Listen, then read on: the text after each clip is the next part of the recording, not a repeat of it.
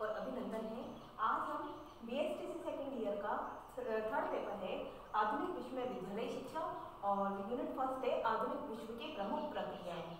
जिसमें आपका टॉपिक चल रहा है श्रम एवं बाज़ार के निर्माण में सार्वजनिक शिक्षा की भूमिका।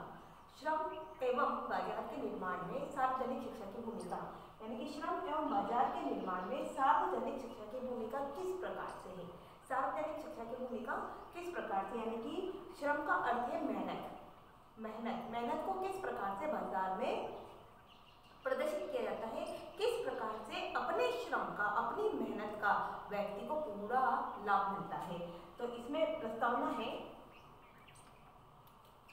प्रस्तावना है आपकी कि श्रम एवं बाज़ार किसी भी उद्योग की स्थापना के लिए बहुत आवश्यक होते हैं। बिल्कुल, कि श्रम एवं बाज़ार श्रम एवं बाज़ार किसी भी उद्योग की स्थापना के लिए बहुत आवश्यक होते हैं। यदि श्रम मेहनत नहीं है, यदि किसी उद्योग की स्थापना करने के लिए मेहनत नहीं है और बाज़ार में उसका बोलबाला नहीं है तो वो वो उद्योग वो उद्योग आगे नहीं बढ़ सकता, वो व्यवसाय आगे नहीं बढ़ सकता। इसलिए श्रम एवं बाज़ार किसी भी उद्योग की स्थापना के लिए बहुत आवश्यक होते हैं।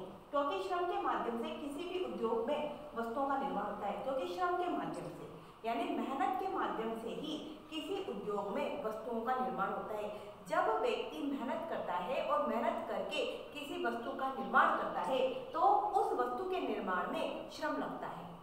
उस वस्तु के निर्माण में मेहनत लगती है श्रम लगता है।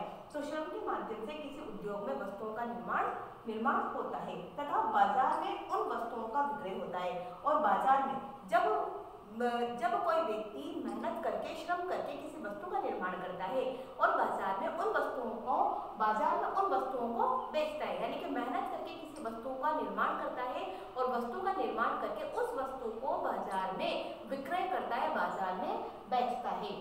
श्रम एवं बाज़ार का वास्तविक निर्माण शिक्षा द्वारा ही संभव होता है श्रम एवं बाज़ार का वास्तविक निर्माण शिक्षा द्वारा ही संभव होता है यानी कि शिक्षा के द्वारा ही श्रम और बाज़ार का वास्तविक निर्माण संभव होता है किस प्रकार से कि व्यक्ति मेहनत करता है और मेहनत करके वस्तु का निर्माण करता है और वस्तु का अच्छे प्रकार अच्छी वस्तु का अच्छी किस्म की वस्तुओं का निर्माण करके उस वस्तु को बाज़ार में विक्रय करता है जहाँ उसको उस वस्तु के दाम अधिक मिलते हैं तो श्रम एवं बाज़ार का वास्तविक निर्माण शिक्षा द्वारा ही संभव होता है श्रम को सही दिशा प्रदान करने के लिए तथा श्रम को उपयोगी बनाने के लिए। श्रम को सही दिशा प्रदान हो, यानी कि व्यक्ति व्यक्ति अपनी मेहनत मेहनत का पारिश्रमिक मिले, व्यक्ति को अपनी मेहनत का पारिश्रमिक मिले, व्यक्ति की मेहनत रंग लाए, इसके लिए तो श्रम को सही दिशा प्रदान करने के लिए तथा श्रम को उपयोगी बनाने के लिए, यानी मेहनत को उपयोगी बनाने के लिए शिक्षा की महत्वपूर्ण भूमिका होती है।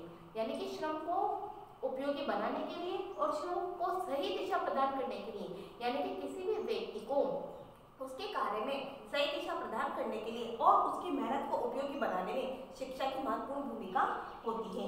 शिक्षा के माध्यम से ही बाज़ार निर्माण होता है। यानी कि किसके माध्यम से? शिक्षा के माध्यम से। शिक्षा के माध्यम से ही बाज़ार निर्माण होता है। यानी कि जो व्यक्ति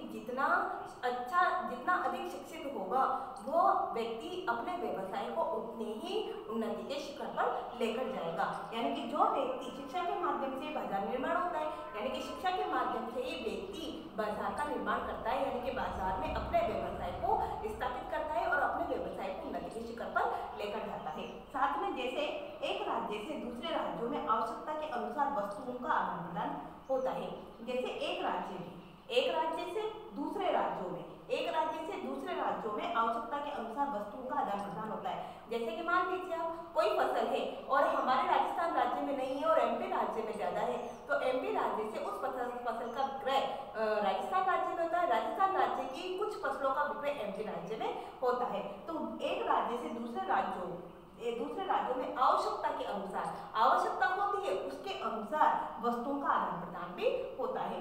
वर्तमान समय में तकनीकी एवं शिक्षा का प्रयोग श्रम एवं बाज़ार के निर्माण में हो रहा है।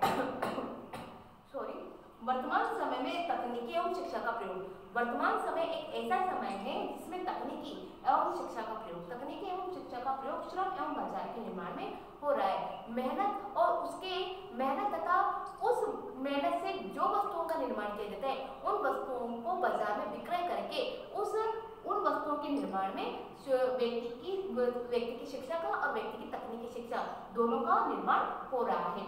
साथ में आज भारतीय अपना श्रम एवं वस्तुएँ अमेरिका को बेच रहे हैं तथा अमेरिका अपनी वस्तुएँ भारत को बेच रहा है। यानी कि आज वर्तमान में ऐसा हो रहा है, आज भारतीय अपना, यानी कि भारत के जो व्यक्ति हैं, वो वो श्रम एवं वस्तुएँ, अपनी मेहनत, अपने मेहनत से बनाई हुई वस्तुओं को अमेरिका को बेच रहे हैं। तथा अमेरिका भी अपने मेहनत से बनाए हुए वस्तुओं को भारत को बेच रहा है। यानी कि एक देश दूसरे देश में आयात और निर्यात का कार्य कर रहा है। यह सभी प्रक्रिया शिक्षा द्वारा ही संभव है। यानी कि शिक्षा के माध्यम से आयात और निर्यात का कार्य, श्रम तथा बाज़ार का निर्माण निर्माण में, निर्माण कार्य हो रहा है। श्रम एवं बाज़ार के निर्माण में शिक्षा द्वारा विभिन्न प्रकार की नीतियों एवं नियमों का निर्धारण होता है, यानी कि श्रम एवं बाज़ार निर्माण में। श्रम एवं बाज़ार निर्माण में जो शिक्षा शिक्षा के द्वारा विभिन्न प्रकार के नियमों को बनाया जाता है, विभिन्न प्रकार की नीतियों का निर्धारण किया जाता है, यानी कि विभिन्न प्रकार की नीतियों नियमों का निर्धारण करके ही करके ही उस वस्तु का आयात और निर्यात किया जाता है जिससे श्रम एवं बाज़ार का सर्वोत्तम रूप विकसित होता है। जिससे क्या होता है कि व्यक्ति को अपनी मेहनत का और अपनी मेहनत से बनाई हुई किसी चीज़ का, उसको बाज़ार में विक्रय करने पर सर्वोत्तम रूप सर्वोत्तम रूप से विकसित होता है, यानी कि सर्वोत्तम रूप से उसको अच्छे दाम मिलते हैं अच्छा विक्रय होने पर अच्छी कीमत उसको प्राप्त होती है। अब श्रम एवं बाज़ार के निर्माण में सार्वजनिक शिक्षा भूमिका है। उसके दो रूप आपके सामने फ़र्स्ट तो है श्रम निर्माण में सार्वजनिक शिक्षा की भूमिका और सेकेंड है बाज़ार निर्माण में सार्वजनिक शिक्षा की भूमिका। यानी कि यदि आपसे पूछा जाए कि श्रम एवं बाज़ार के निर्माण में सार्वजनिक शिक्षा की भूमिका के दो रूप बताइए। तो श्रम निर्माण में, श्रम निर्माण में सार्वजनिक शिक्षा की भूमिका फ़र्स्ट रूप और बाज़ार निर्माण में सार्वजनिक शिक्षा की भूमिका सेकंड रूप। अब हम इसमें फ़र्स्ट पढ़ेंगे श्रम निर्माण में